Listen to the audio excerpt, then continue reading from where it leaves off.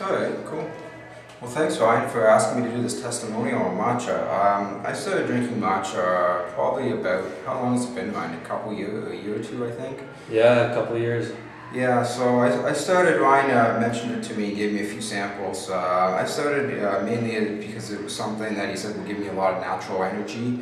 Um, something that's a bit better than some other alternatives such as coffee. Uh, so I tried it out and uh, what I found is it did do just that.